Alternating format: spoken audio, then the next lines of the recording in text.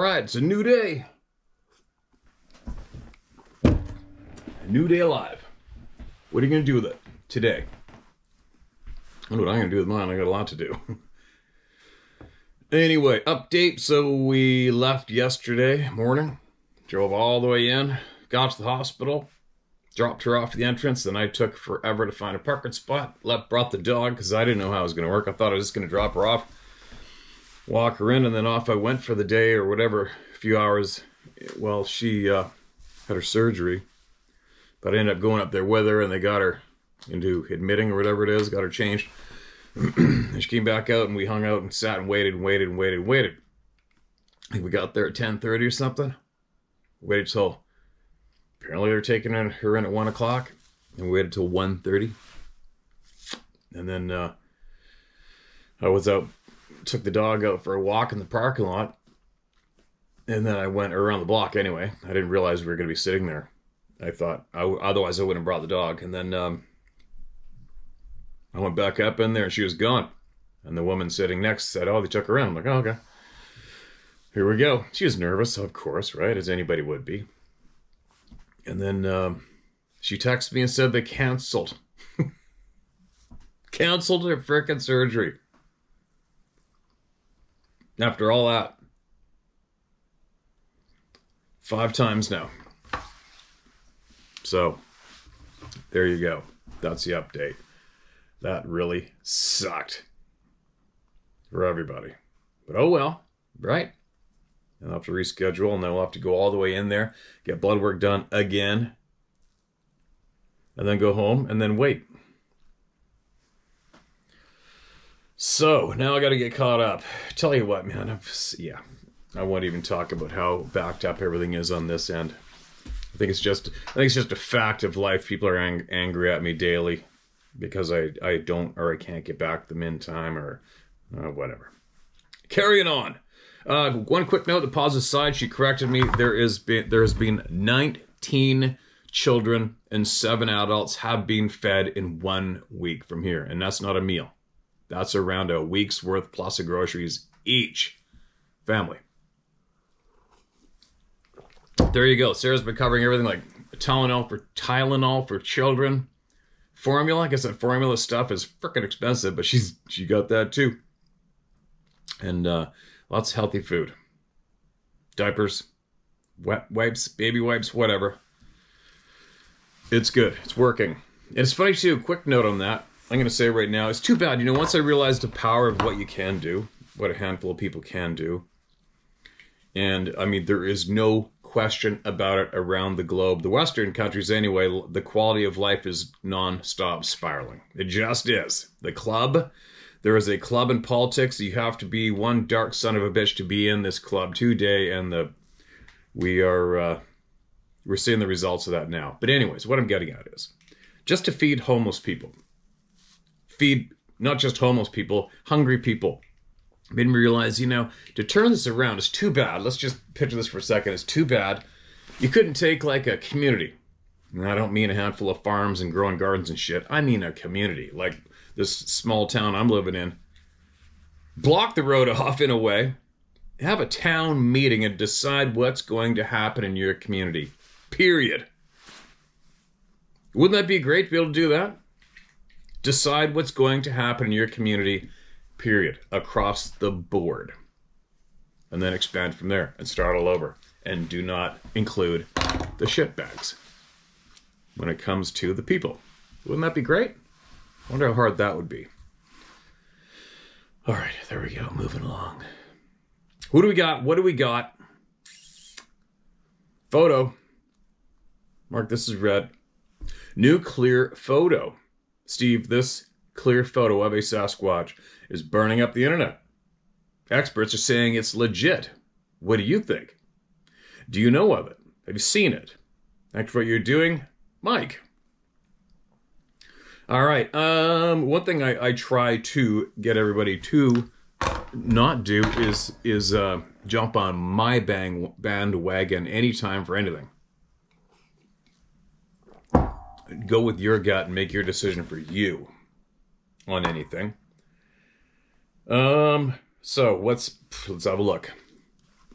I'm to tell you my I'm going to tell you my honest reaction right off the bat. Not that I want I don't want to get into this. I am not a critique of photographs like some other people on the spend a they're they're trying to create a business of doing that for themselves online. All right, and that's not me ever. This looks like a substantial photograph. I'll put it back. I'll put it up. I'll put it in the video. Origins unknown. I don't know. What do I ha- what do I think about this right off the bat? All right, looks like a pretty good photo. Looks clear. Looks like the, the face has been perfectly focused on with an, a professional camera because it goes out of focus once you get to the top of its forehead to the back of its hair. Leaves in the front are out of focus.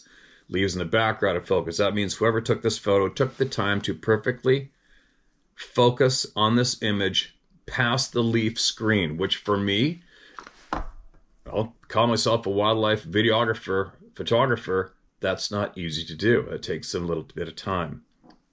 First off, I'm gonna I'm gonna do this just for fun. We'll go down this photograph with what I think just for fun, just this one time. So, picturing me, I'm looking at this being looking at me. I've had something rising up out of the bushes in front of me with the camera on the tripod, and I, it takes a lot for me to get unnerved in the wilds. And uh, I instantly didn't even think there was a camera beside me on a tripod, first off. And that was at around 150 yards away from me with a high power rifle in the grass. I didn't think for a second about that camera when that was going down. And uh, so, first off, as soon as I see somebody with a close up photograph who has the focus perfect on the image that close, all right, that's a red flag just for me. Now, what else? Does this look like anything I've seen? I haven't seen the face of one of these beings. I saw the crisp outline myself, the silhouette. So let's go down from what all of the people have shared here. Super wide mouth. Not on this thing. Super wide, large, bulbous nose. Not on this image. Eyes huge, huge, dark eyes, super wide apart. Not on this image. there you go. My gut screams, yeah, good one, but not quite so good. Right? Too many red flags. The cheeks go out. That's just like, obviously, for me. This is a photograph of a gorilla, which has been enhanced to have a somewhat of a different look to its face. How confident am I in that? Uh, if I had the money, I'd throw down a million dollars of my money if I had it that this is generated by a human being. There you go. My main reason, though, is because of all you, the people. All right? The strong, strong pattern is absolutely huge. A super, super wide mouth, abnormally wide mouth, huge, dark eyes. Wide, flat, huge, bulbous nose. This image has none of the above. There you go. So, that's my take on the photo. but hey, maybe I'm wrong. But I doubt it. Okay, moving along. Thanks for that, man. And please, everybody, uh, I'm not going to make a habit of doing that with photographs, all right? Myself. I'm beyond the photograph thing. Unless somebody else to share a photograph with all of you, I'll share it with you. But for me being a, a photograph video critique expert, no, it's not my forte. But I can make decisions for myself. Now, excuse me, moving along. This is titled South of Ireland. Hi, Steve. Please don't say my full name. I got you. My surname would be known. And I'm not ashamed, but I can see my family saying, Here we go again. okay, man. Tell you what, share some of these videos with your family. All right? I followed you from the start.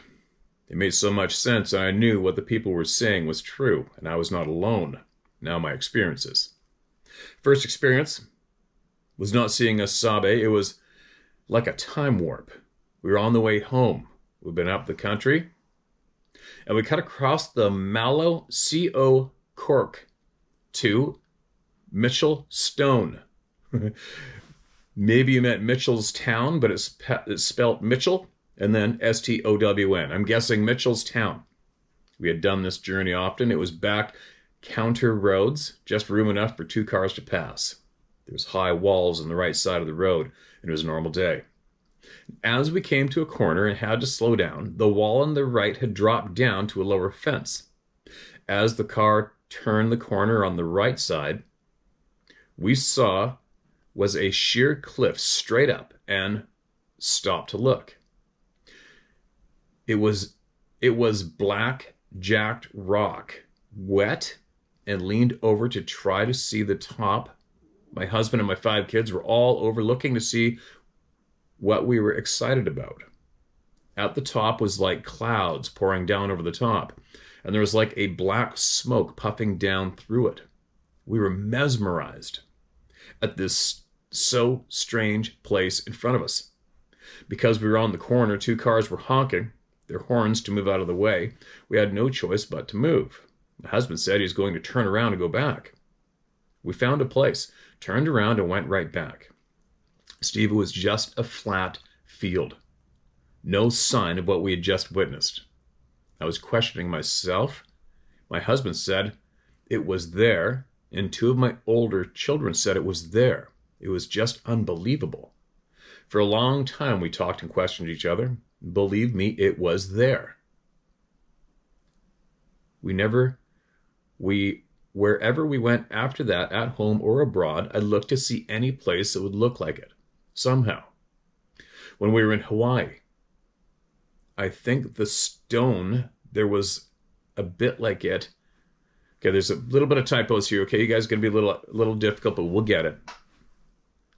When we were in Hawaii, I think that the stone there was a bit like it, but it was not as black as what we saw in Ireland. This was the first time we saw something out of the ordinary that would have been in the early 80s and that would have been in the early 80s. Next time we saw something would have been in the late 80s. It was a winter. Evening snow was starting just lightly to fall. We lived near the mountains.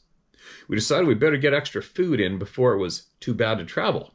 It's funny how that does with snow. Eh? The snow even drizzles here and the grocery stores go off. The light was starting to go, so we were careful driving the narrow country road. We were just talking and watching the road as we went. As we came to the bridge, we slowed down where we were taking the turn right. As we got on the straight, short part of the road, I saw this big person walking on the side of the road.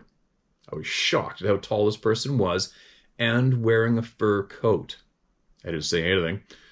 I was just trying to make sense of what I was looking at. And right then, I see the headlights of the car right on it my husband had turned the car to see. He said, he said nothing. Okay, hold on. There's no commas for this sentence. I'll read it one more time. I'm sorry, you guys. Right then, I see the headlights of the car right on it. My husband had turned the car to see. He said nothing, and I didn't say anything. I was so frightened at this huge person. Now we had nowhere to go we went to pass this thing, and it was almost the width of the car. He was huge, black long hair all over, almost as wide as the car. Think about that one.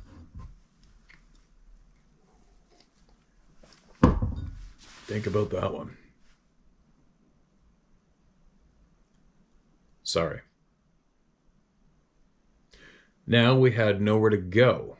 Went to pass this thing and it was almost the, almost the width of the car. He was huge, long hair all over. It stopped and turned to the top part. It stopped and turned the top part of his body around, looked over his shoulder at us. We had no choice but to pass it. We were close. He would have put his hands on us, on us. We passed it it towered. There's a whole pile of typos. And to the person who emailed in, don't feel ashamed. It's okay. It's just a little awkward, but we'll get it.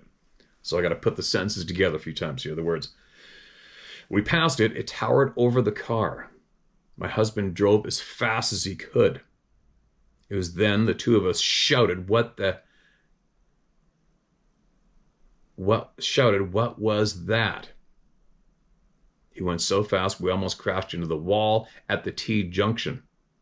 We were now at the other side of it. The town of Fermoy and had to get back home. I will never forget that night. We were we told our family what had happened, but we were laughed at. It was so hurtful to be laughed at and asked what were we smoking. I'm 74 now, but it took the wonderful pleasure we had walking through the woods. Okay, I think he meant it took away the pleasure of you being able to walk through the woods. We never did that again. Oh, that sucks, doesn't it? My husband died of cancer. I miss him, but we knew what we saw. I wish he had lived to see your program and all the wonderful people of the round table. I got my mug from Sarah. Give her my love, and for you, Steve, my love and respect for all you do for us. I do hope you can understand my spelling. I'm not great, but I know what we say, and no one can ever make me say otherwise. Stay safe, Steve, and love to Sarah at all the round table. All right, I appreciate you so much for sending that email in to us. Absolutely appreciate you. I'm sorry about your husband's passing, and I'm also just as sorry that you lost your love for walking in the woods. That's why we're here. That sucks. That's not fair. That's bullshit. But we're getting everybody educated up, right? As much as we can. Ireland. There you go, Ireland. That's not the first time Ireland has has informed the world through us that this is be, this is happening there too, right? Not the first time. Keep them coming. All right? Keep them coming. Everybody, speak out loud and don't be afraid. No more being afraid. That's another reason why we're here. All right, excuse me. This is a long one. I'm going in. This is from the Owl Man. Haven't heard from the Owl Man for a little bit. What do we got? Titled Some Advice, a Book Recommendation, and Pam Porter from the Owl Man. All right, here we go. Hello, Steve. Below is an email I emailed to you in November 1. I added a few things to it, so disregard the original. Missed it, or I haven't got to it yet, and November is tough too, right, man? As November, I'm running around the forest full time. Greetings, Steve. I thought I would drop another email in to you in hopes it will help you and the others. Enclosed is a picture of a book I think everyone should read. It's called The Sense of Being Stared At and Other Aspects of the Extended Mind by Rupert Sheldrake. Right on. Sounds good to me. I think it will give everyone in this in this interest a better understanding of the suppressed capabilities of our brains. Sounds like a book that should be stuffed in every school on the planet. This author wrote another book worthy of time called Dogs That Know When Their Owners Are Coming Home. Both books will give a plausible understanding of how it's possible for the Sabe to do some of the things they do. The books have nothing to do with the wild people, but it di- does give insight to the unseen abilities of not just us, but some of the animals we are connected to.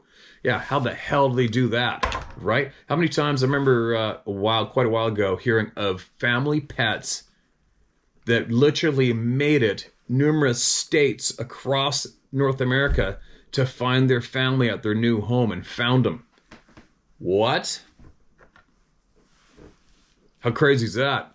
Fish making it back up in the same river after going and growing off the coast of Japan, Alaska, etc., etc. There's a lot of shit going on out there that's pretty, pretty something else. On a more somber note, you read the story of Pam Porter, the young lady that died of a rare cancer. I met Pam once, sometime in 09 or 2010. I spent about five hours sitting with her in the dark with three others including myself. At the time, I knew the young man who was romantically interested in her, and he was an investigator for the organization that shall not be named. Right on. That young man was aware of my dealings with the Sabe, and he brought her to experience what myself and my friend were doing. I remember her telling the story about her mysterious blood loss. She appeared to be in good health at the time. She was a charming young lady, and when I had heard of her ultimate, un, sorry, she was a charming young lady, and when I had heard of her untimely death, I was deeply saddened by it. Apparently, it was a rare type of cancer that claimed her life. At the time, I found it to be rather odd, but I now seem to know a few others who had come down with unexplained sickness after having close encounters with these beings. It's been many years now, but like you, I am starting to put some things together. The late Mary Green once told me not to handle the Sabe's feces because it will make you very sick, and the doctor will not be able to find any pathogenic cause. I remember her telling me that telling me the sickness seemed to last a long time, and if I recall, one or two others who helped her collect that sample had the same symptoms. Looking back at it, I suppose it could have been a mild form of radiation sickness. Have you ever considered why the Sabe avoid us? Are they aware that somehow they may cause illness or death? I guess that is something I should ask them in the future. I spent a lot of time in close contact with them over the years, and yet never had any type of health or disorientation from them. I guess time will tell. The rest of this email is rather long and it pertains to these beings around your home when you are not there. I hope it'll help you and others understand a little about how their minds work. It's long, but an easy read. Okay, man, strapping in, here we go. I recently read your community note from November 17th, 2023. It seems you have a bit of a problem on your homestead when you leave for extended periods. I'm not Scott, Car- Scott Carpenter, nor do I want to be his replacement. Scott and myself had a very similar journey going on around the same time. I just went a different direction than he. He more or less did his best to distance himself from these wild people, while I wanted to understand more about them. So let me try to help you and the others who find themselves more or less pissed off with the coming, with them coming around the home. Some of the stuff will sound familiar because it is information I've mentioned before, and some of it is from Scott as well. The Sabe are an ancient people with ancient ways. What I mean by this is they have kept their way of life the same for thousands of generations, while we advanced our ways forward because of technology. Technology alters our cultures and belief systems to a high degree. For the Sabe, this is not the case. They have an understanding of old ways, the ways many of our ancient ancestors knew so long ago, long before institutionalized governments. This is why the Sabe seem strange to us. Let me explain. The Sabe are a covenant people. The word covenant has lost all meaning in modern Western culture. We just define covenant as an agreement. But in a world before lawyers, a covenant was much more than that. It was an agreement where life and death were exchanged for generations in the future. When you agree to a covenant agreement, you tie up your entire tribe or clan with life and death. Let me explain. In ancient cultures, it was common to form agreements with neighboring people groups for survival. This was long before we decided to go urban. This was about hunting, gathering, and early farming. Say you have one clan of people who are great at gathering and producing food. Over the hill, you have another clan that are incredible warriors and protectors but they are not so good at feeding themselves. Likewise, the farming group is not so good at protecting themselves. So the two leaders of each tribe come together and form a covenant together. The warriors pledged to protect the farmers in times of need, and the farmers pledged to feed the warriors in time of need. To seal this agreement, they would cut some part of their body, usually the palm of their hand, let it bleed, and they would either bind their hands to gather the blood together so the blood would mix. Or they would let each one's blood drip into a cup and mix it with water or wine and drink it. This is where we get the term blood brothers from. When this is done, with the palms of the hands, the wounds were deliberately rubbed with dirt or ash, which resulted in a very visible scar. All the people from both tribes or clans did this. Why? Because in times of conflict, if two people from both tribes raise their hands to see the scar, they instantly have to stop the nonsense and honor the covenant that people made. Well, there you go. Now the, the crowd's going to roar up. Some of the crowd, right? There seems to be a large amount of people out there that believe that when they when the past people on the earth raised their hands, it was to show they had five fingers and not six. Then other people say they raised their hands to show they had no weapon. Now, this is the first I've heard of this one. And I'm not saying it's not true, and I'm not saying I don't believe it. I'm just saying we've had a few variations of why the hand is raised.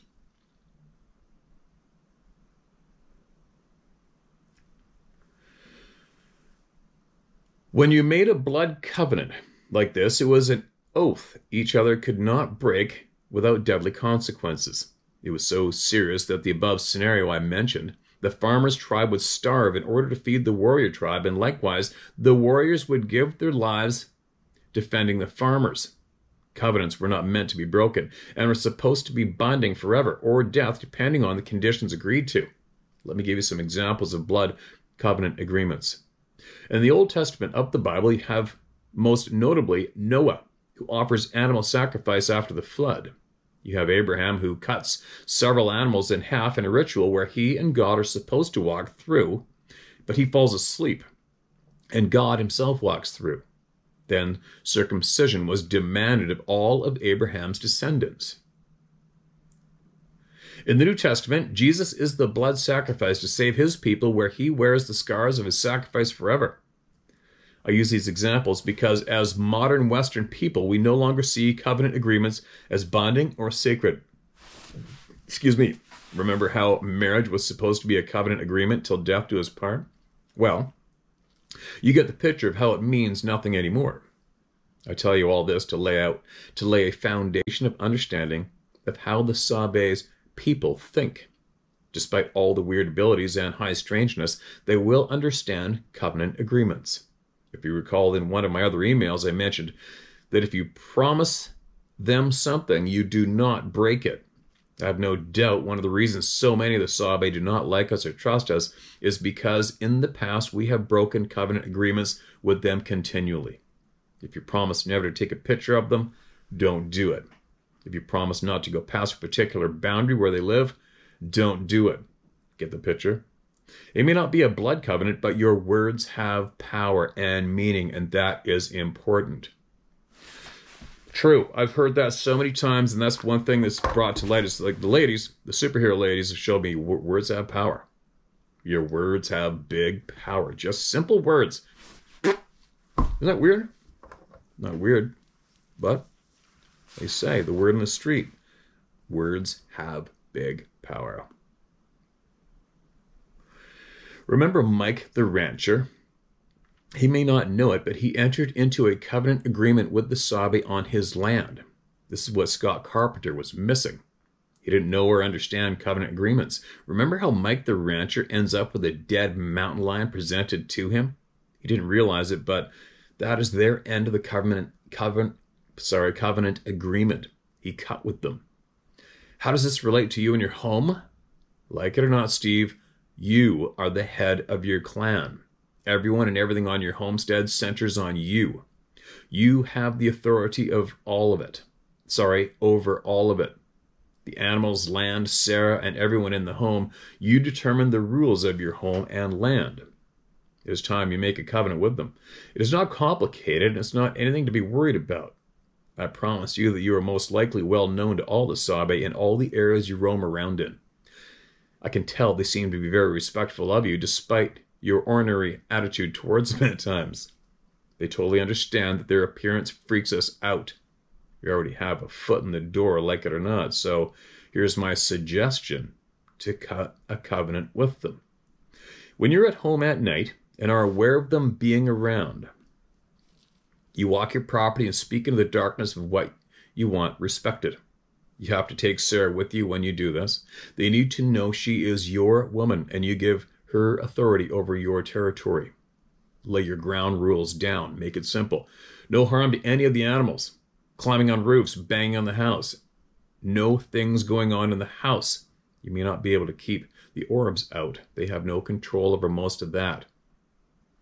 It's a pretty bold statement. I'd like to know more about the orbs. You know what I mean? Like, and I'm not, I'm not uh, challenging your honesty here. What I'm saying is, you or anybody else can tell me they don't have much control over orbs. All right, how'd you find that out? And why is that? And what is an orb exactly? Where do they come from? What's going on with that department? See what I mean? I My brain goes, huh? You just told me, right? You just directly told me they have no control over the orbs. More on that one, right? More on that. For me. Sorry. it's funny having a conversation with somebody with an email and they can't speak back.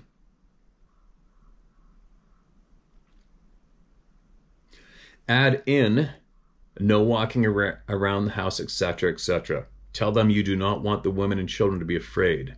I think the reason they come around when you are not there is because they are not respecting the entire household when you are gone. Remember, I mentioned many times they seem to be on some type of autistic spectrum, and that really messes up our perception of how they think and process things.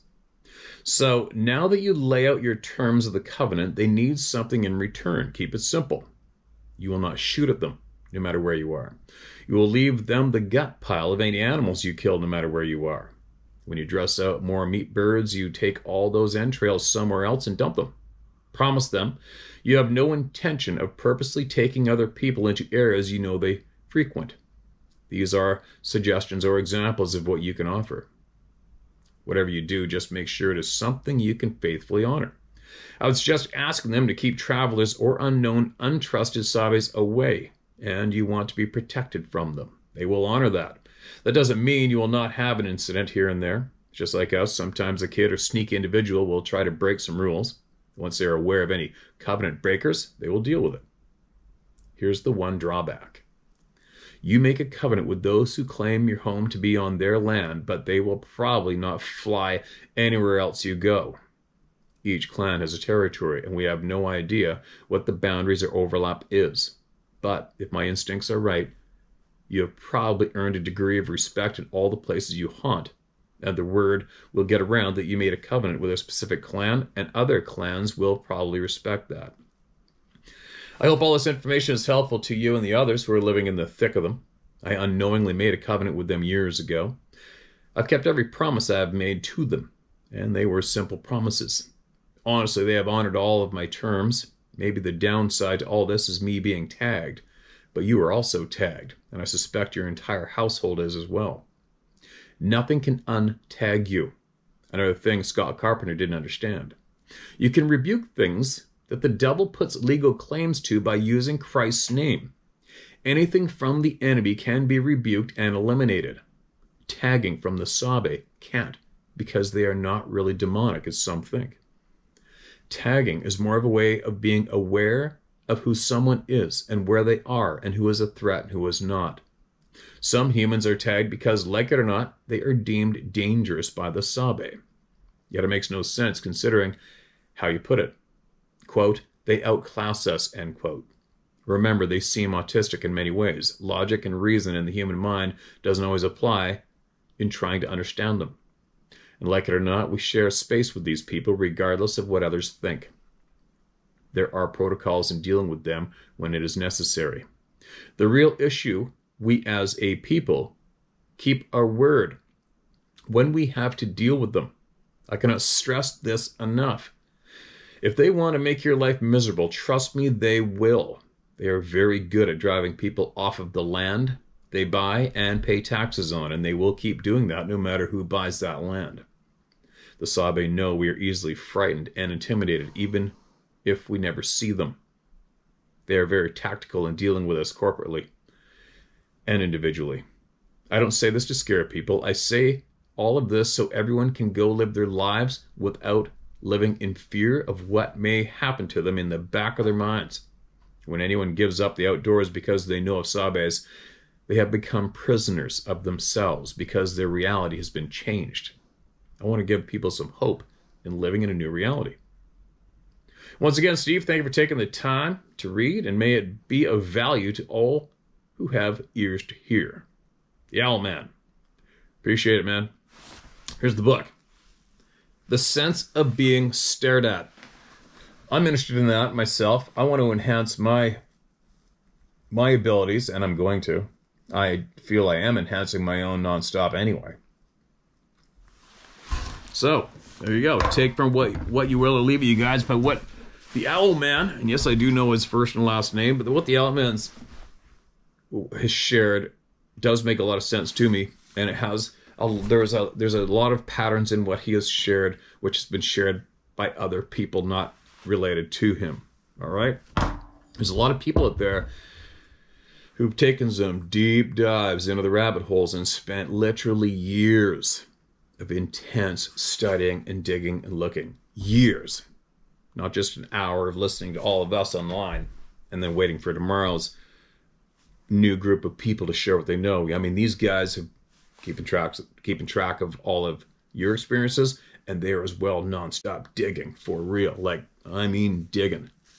Anyways, those people all have similar patterns, which are, which are mentioned here, and uh, and we did walk the four corners. Sarah did all the the four corners of the property after the ladies came over and and and uh, spoke with us too on how to do that. And for for the most part, it seems to be working.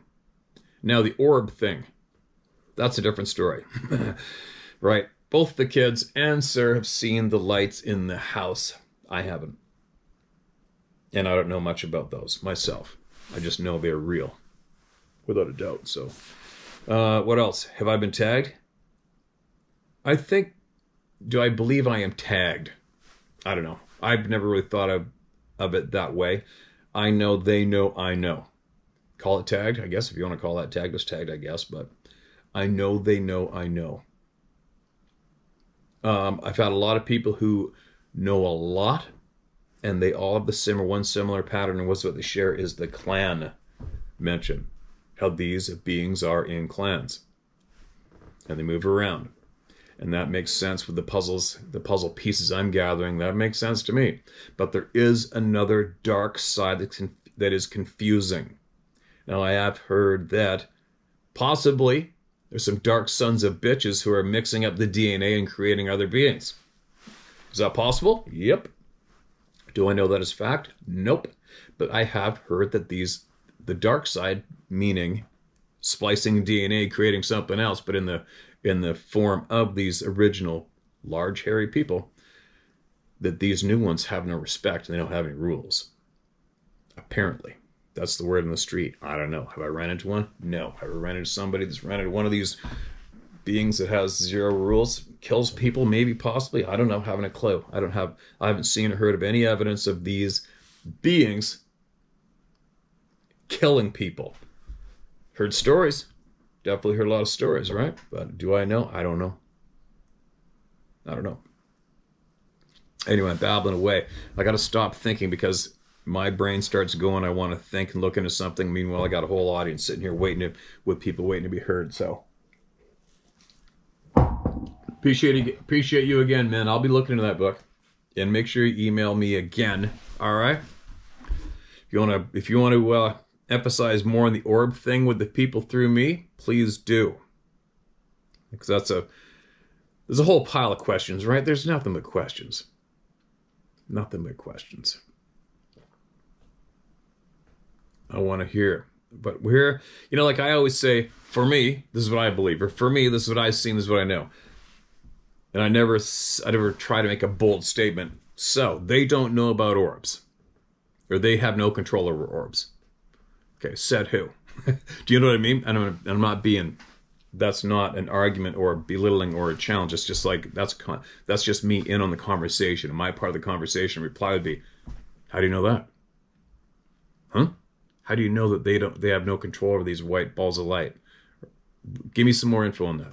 That's all I'm saying." No. Follow up in regards to previous email. Okay, is this going to be shareable?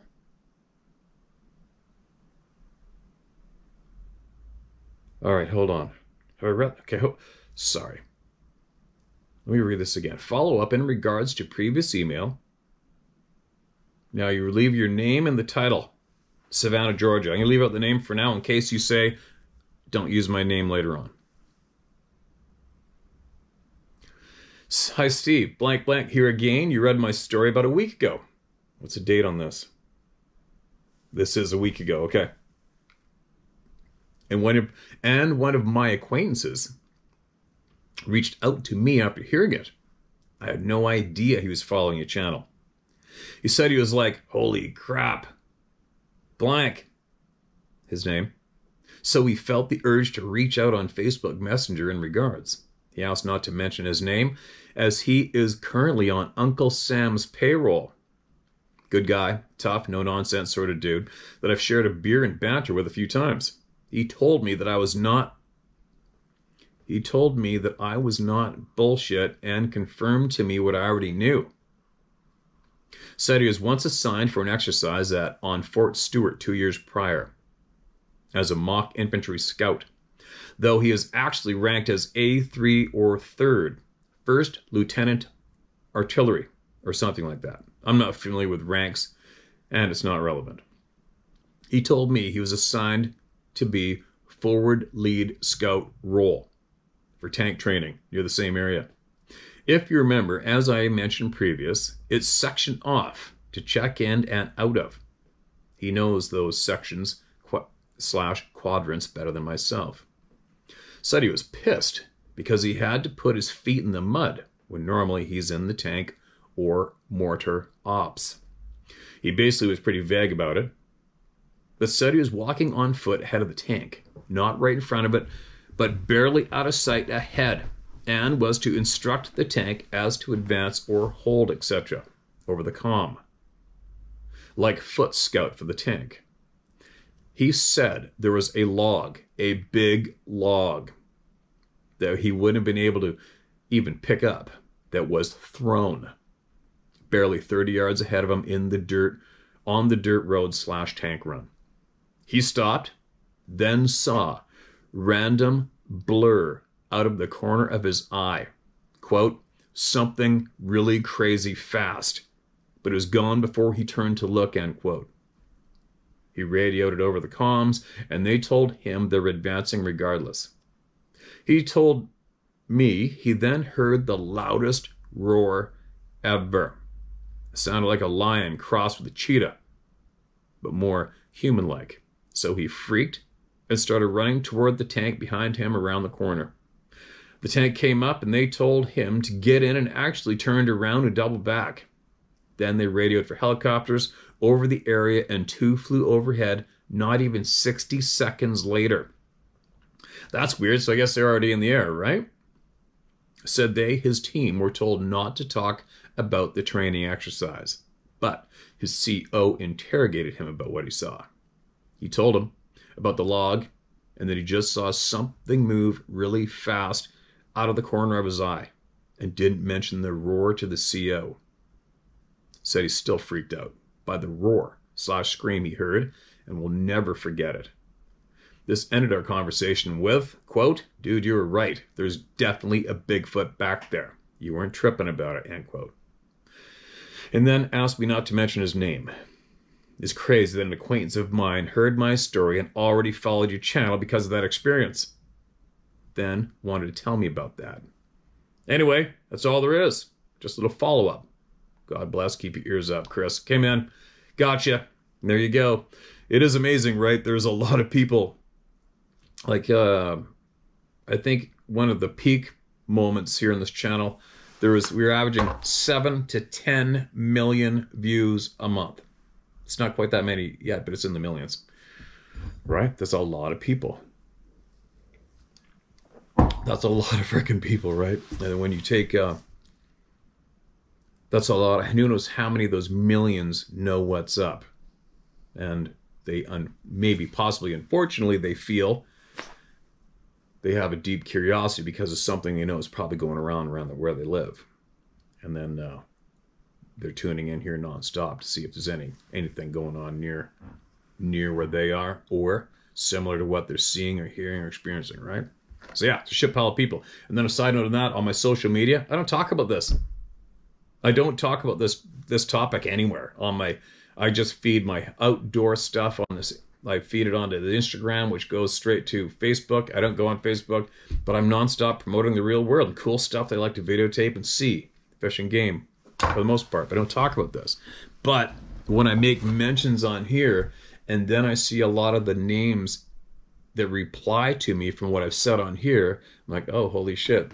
That's a lot of people from my social media that are hunters here in BC. And I always think that the majority of hunters probably think, oh God, there he goes talking about stupid shit again. But meanwhile, there's a piss load of them who are actually interested in listening. I'm babbling. Hope it, made, hope it just made sense there. Probably not. No.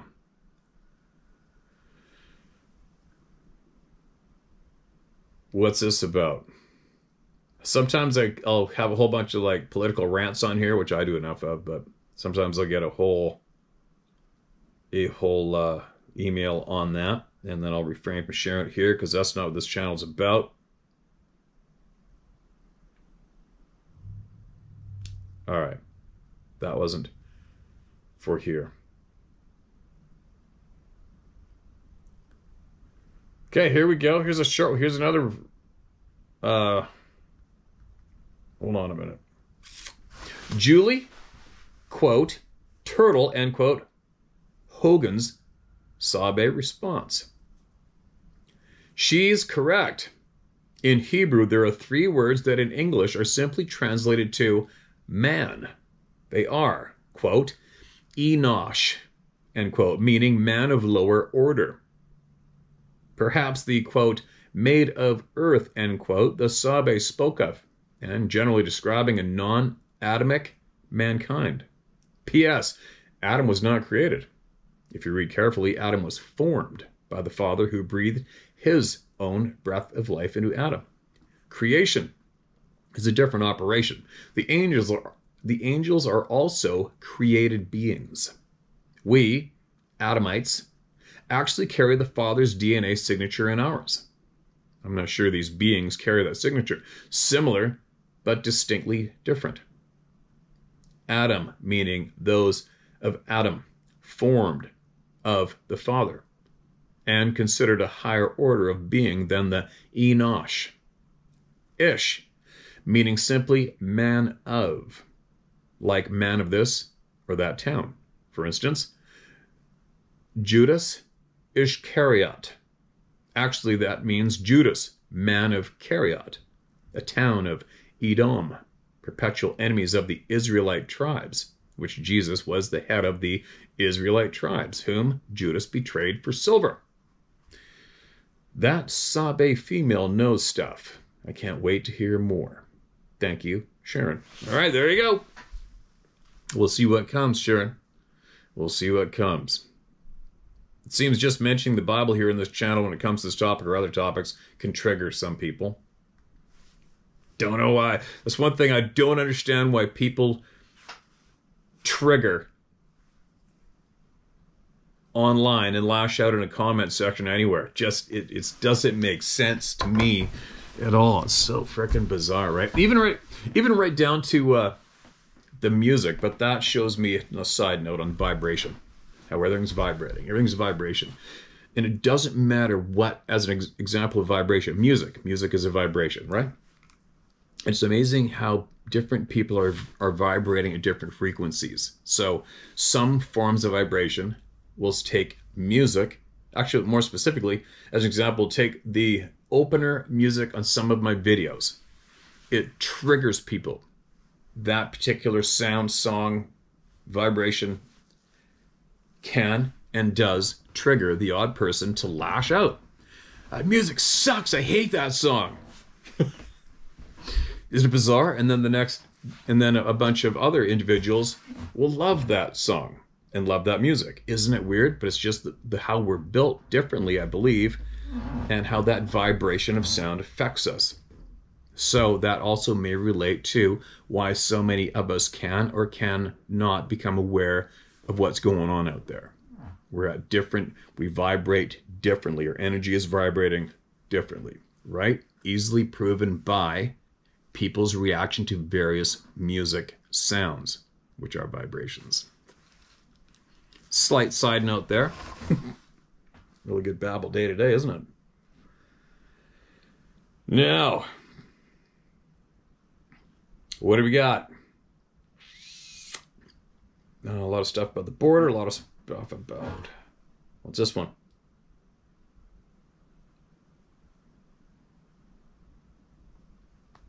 All right, this one starts off with a. Uh, this is a uh, reply to an email from 2022, and it also said that I have the title of the longest email I've ever read right away. So I just scrolled rip down, and this is a book. Too late in the day to start that one. Another time.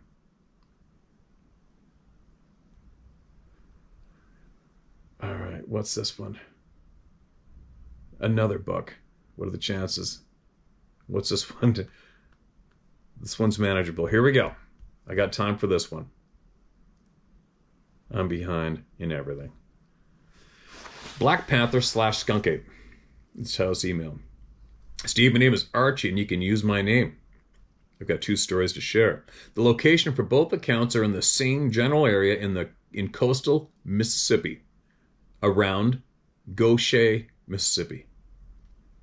This is on the Singing River that flows into the Gulf of Mexico. A little history on the river. The stories have been passed down for many generations about the native peoples that live here when the first European explorers come, came in the 1600s. It is told that Spanish explorers tried to enslave the natives and take them back to Europe to sell as slaves. But after many were killed trying to defend their tribe, the rest of the tribe all joined hands and sang a song as they walked into the river, drowning, drowning themselves in the river rather than being enslaved by the Spaniards. Wow, that's dark, isn't it? It's said that on a quiet night you can still hear them singing on the banks of the river, hence the Singing River. Wow. My grandfather built a camp house on that river in the early 1950s. The skunk ape encounter was told to me by my mother and uncle and occurred around 1957. They were in my grandfather's wooden boat with a Johnson outboard, and my uncle took my mother and one of her friends upriver to a sandbar to swim.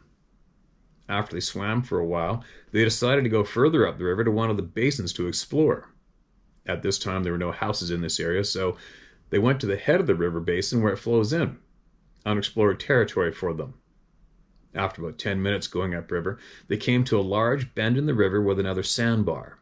As they rounded the bend, they saw what they described as a small, hairy, black ape like creature, around the sm- size of a small child, on two feet, run up the sandbar, into the woods beside the sandbar. It climbed into a cypress tree and then was gone. Not much detail on what it looked like other than ape like. It scared my mom and her friends so badly that they made my uncle turn around and go back immediately. When they got back to the camp house, they told my grandparents what they had seen. My grandfather told them it was probably an escaped monkey at the time, but no one really knew what they had seen. But he did believe them. They are both in their 80s and hardly remember details now, but I've heard the story many times over the years, and this was what I remembered from their account. Fast forward 1997, my youngest son, 10 years old at the time, and I were on our way to a weekend soccer tournament on the Mississippi Gulf Coast. And I told him we're going to save hotel money this weekend and stay at the old camp house on the Singing River. It was a Friday afternoon, about a two hour drive from where we were living at the time. We didn't go down there until around 9 o'clock that night. When we got about a quarter of a mile from the camp house, we saw what I thought at first was a big black dog standing on the right side of the road. It appeared to be eating roadkill. I hit the high beams and it jumped across the road in front of us in one leap, cleared the road on the other side, and leapt again and was gone. Solid black. The head was square, and the tail was about three feet long. My son asked me what that was, and I told him it was a big cat. I've seen bobcats before, along with all of the usual animals that live in the woods of Mississippi growing up and hunting all my life. And this thing was probably 80 to 100 pounds and had a shiny black coat. It was definitely a black, large cat. The next morning, as we left out, I stopped where we saw it, and the roadkill was all but gone. Where it had leapt to was a bayou. The closest tree was about 15 feet from the road, but water everywhere. But water everywhere else surrounding it. I heard you read the story about the Black Panther in the in the Honey Island Swamp, Louisiana, the other day, so I decided to chime in and tell my account, which is about 100 miles from where that happened. We got to the soccer game, And I told some of the soccer parents about what we saw and got the eye rolls you'd expect.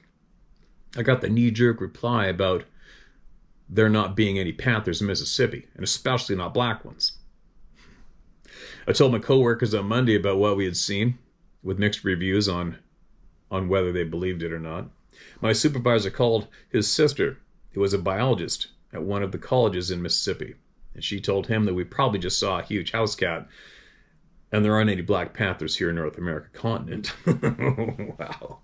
That always makes me laugh. I'll tell you why in a minute.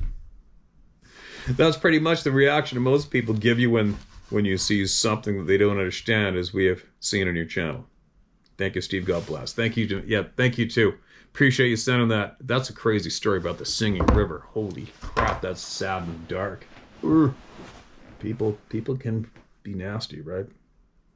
Slavery, Jesus. Now, a uh, quick note on the Black Panther thing. I have a friend of mine in Tennessee who's seen one in Tennessee. Saw it. Endo story. He tells me he saw it. He saw it. We've got a lot of people chiming in about seeing black cats, and even in the UK. Now, do I think it's a uh, spiritual thing, ghost-like thing? Nope. I believe they're absolutely real. Now, here's the deal. it always makes me laugh when somebody gets the title of biologist. right?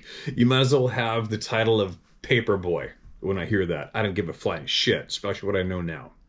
What I know now as truth and is truth, it doesn't matter what human classroom gave you the title of your name when it comes to the real world. Don't matter. You have been misled and bullshitted through your entire journey to get those letters put in front of that title in your name. Prove me wrong. Anyway, so is it funny how so I'm a biologist? I can tell you right now they're not anywhere in North America. Oh, really? Because you have been in every place in North America at the same time, right? So you can dictate that bullshit statement to us.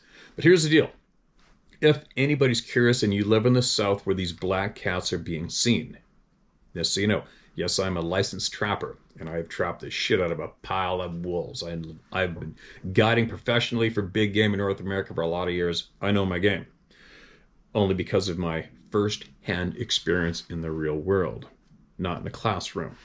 Now, um, cats are probably one of the easiest of the predators to bait in. Okay? Uh, grizzly bears, wolves, you can do it, but they're not that easy. Black bears, black bears are about as smart as a pickle. Grizzly bears, as an example, I'm just going to give you the rundown for all you in the South who are who might want to try this. I would, I, if I was living in the South, I would get that video trail camera photograph of a Black Panther. I would get it. I guarantee you I'd get it because I wouldn't stop till I got it. And I got the experience to pull it off. Now, as example, we'll shoot a moose in the north, middle of nowhere, grizzly bears everywhere. We'll shoot a, a moose in the north, strip all the meat off of it, and we'll leave the carcass, like meaning the ribs, the hip bones, the leg bones, uh, the gut pile, and and we'll ride by it on our horses to go hunting for the next days on end, up to weeks I'll tell you what, we, we have gone easily a week, two weeks, and not even had of, of no predators hitting that carcass except for eagles and ravens. And they clean it up real fast. But I'm just saying, sometimes a grizzly bear won't even go near it. Just won't go near it. Wolves, same thing. Wolves will go as soon as a wolf senses danger from humans anywhere, they're done. They're done. I've seen wolves. As an example, I've dropped I dragged a steer up an old log road one time with my snowmobile. Heavy, barely made it because it kept on bogging down the snow on the trail. And then, um, anyways, finally got up to where I wanted to get it. I couldn't get it off the trail. Just dumped it right there. Spun around left. About a week later, a week later, a whole steer laying there on the trail in the winter. I went back up, and a pack of wolves came down the road, split in half, and went around that steer. It didn't even stop and smell it, and kept on going. And I think it was over a week, almost two weeks later, the bird's been hammering on it. Two weeks later, the wolf same wolf pack came back. They ate everything. Weird, right? But anyways, another time I had a whole pile of rotten, disgusting, rotten, absolute the nastiest meat ever. Like I had rubber gloves on, I put it in a Rubbermaid and put it on a sled toboggan behind my snowmobile. You get one drop of that on you, it was like radioactive nuclear waste. If you put two drops of that in a vehicle, you wouldn't be able to sell it or get into the vehicle. That's how nasty it was. And if a cougar and her three kittens didn't come and feed off of all that disgusting shit until it was gone over a course of a couple weeks. Crazy, right? But anyways, what I'm getting at is is cats are probably the easiest of the predators to bait. Bit of a spiel to get that statement out right. So, I would love to challenge you, uh, any of you outdoors people listening in the South, just go establish a bait pile. Use what they're probably feeding on raccoon carcasses, deer carcasses. Go get some roadkill. I know there's a lot of deer in the South, a lot of roadkill. Drive the highway, grab all that roadkill up, and just start a bait pile and maintain it. Right? M- maintain, make a bunch of them though. You want to spread them out over a handful of miles if you can. Get some friends in on it with hunting properties, whatever. And um, bait those cats in and use trail cameras. Once the baits, don't put trail cameras there right away. Wait until it's getting chewed on by a predator, right? It's going to save you time of batteries and checking and SD cards and everything, and a lot of nothing. Make sure you set your trail cams not on the bait, because if you set your trail cam on the bait, your birds are going to set off your camera non-stop, literally multi hundreds of times every 24 hours. Don't do it. Excuse me. You want to situate your bait so that what all the predators have to come in and leave in a few definite directions, meaning you're going to have some kind of a backstop, whether it be a down tree or rock wall or river. A river, it would be really good. And then you want to set your cameras, at least three of them, on where you know if something's chewing on the bait, it has to take that trail to it. Because the birds are going to fly down onto the bait. The predator's got to walk in. So keep your cameras away from the bait on all of the possible routes the predators are going to come to it. And then that's all you're going to get on your camera. It's going to save you a lot of time and grief and sifting through 10 million photos. Trust me, I've done it a million times. I've learned for you. Anyways, do it. Please do it. Somebody do it. Somebody do it. Get on your trail camera. It's not that hard if you specifically go to bait in cats. All right? If you do that, follow that recipe that I shared with you, you'll make it happen. And you know what? It, it, they might be rare enough. It could take you, it might take you months. Some people might get lucky in a week. It could take a couple of years, right? Trust me, I've singled out individual deer where I hunt in the in the nasty ass British Columbia mountains here, and I know I'm going to get a couple of particular bucks on my trail cameras, but I know it's only going to happen maybe once a year, right? Maybe twice a year, maybe sometimes every second year, and that's just a specific buck. Okay, so don't give up. Once you start this, don't give up, and it's a fun thing to do with your kids too. Get your kids out there in the woods and get them doing this project with you. It gets them enthusiastic, gets them learning the real world, gets them away from the screen, right? Man, I wish I was in the South. I would put that, I would get a blow up video of the Black Panther. I know I would, because I wouldn't quit until I did. And I'd just keep working and figuring it out. Anyway, I've rambled enough. There you go, you guys. I'm out of here.